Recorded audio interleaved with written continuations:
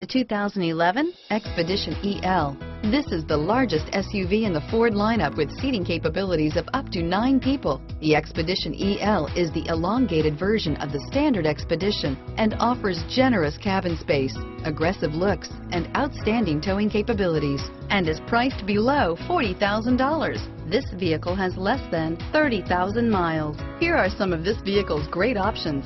Moonroof. Come take a test drive today.